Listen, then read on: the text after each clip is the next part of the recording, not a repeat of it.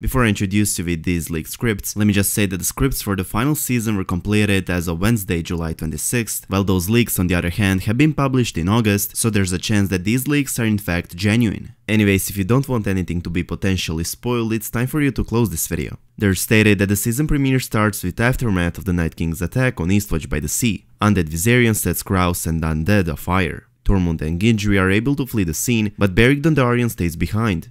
Beric fights against the army of the dead and supposedly dies off screen, but not before killing the White Walker that killed Ed. Ed is stabbed to death by White Walker a bit earlier. Tormund and Gendry ride for Winterfell, whilst they see a burning castle black in the background. Then we go to Winterfell.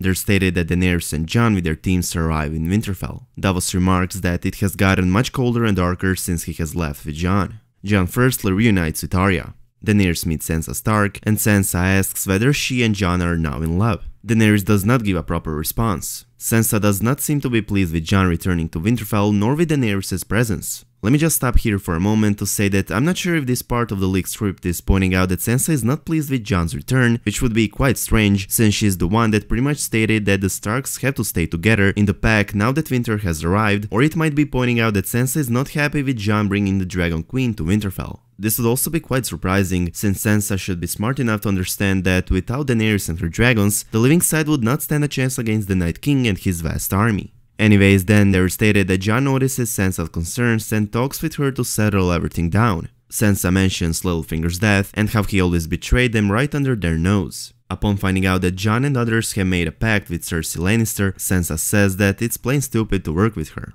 The Hound and Arya also reunite and have a conversation with each other. Arya tells the Hound she did not regret to leave him behind without having him killed off. The Hound responds that she should have had him killed off right there before he has seen all those things beyond the wall. The scene then switches from Winterfell to King's Landing. Euron Greyjoy arrives back in the capital with the Golden Company. They have a meeting with Cersei Lannister in the throne room. Cersei thanks Euron for bringing the Golden Company with his Iron Fleet to King's Landing, whereupon she orders the Commander-in-Chief to take the ancestral seat of House Baratheon and to have the army gathered in the fortress. Cersei explains that Robert Baratheon once told her that the fortress has stood for many centuries and she is sure that it will keep standing during the long night as well. Since there's no Baratheon holding the castle any longer, it will not be too difficult to just take it themselves. Cersei also says they will need to protect themselves during the Great War, and Storm's End is basically their best chance for survival. Let me just stop here for a moment to say that this part would make a lot of sense, since Storm's End truly is one of the mightiest fortresses on the entire continent and is said to be protected by spells woven into its walls that prevent magic from penetrating its defenses. Storm's End has endured many sieges, but has never fallen to any attacker in its millennia-long history, and therefore Cersei deciding to place her troops over there doesn't come as a huge surprise. After all, season 7 finale revealed that Cersei's main intention in the final season will be retrieving lands that, in her opinion, belong to her. Anyways, back to the leaked scripts. Later that night, Euron Greyjoy is about to have an intimate relations with Cersei. Euron jokes that she will not miss her brother after she finds out what he can give her, but Cersei's face expression reveals her real feelings. The following morning, Euron leaves with his ship the Silence to ferry the Golden Company to Storm's End to take the fortress.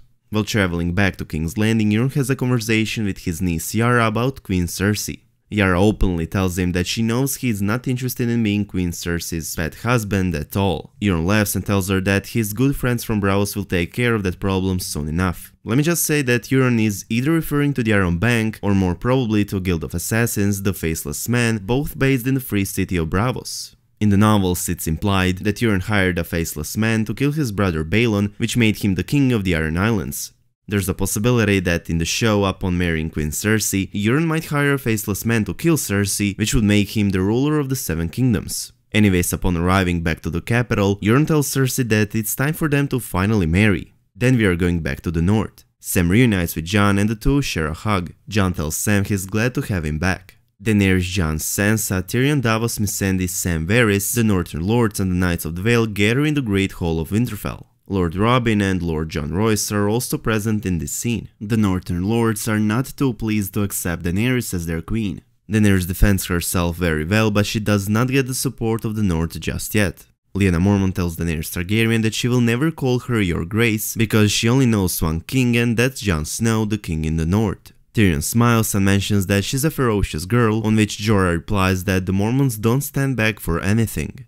Jon tells them there's no time to argue with each other and brings up that there has not been a word of the Lannister army yet. Sansa responds that she warned them not to trust Cersei Lannister. Tyrion mentions that they can trust his brother Jaime, but Daenerys does not seem to agree on this one. The group discusses how they will defend the north against the Night King's army. John tells Robin it's wise to bring Uri into the fold and to lure the Night King in there. Robin doesn't really seem to care and accepts John's proposal. After the meeting, Daenerys tells Jon that the Northerners really are stubborn and small-minded people.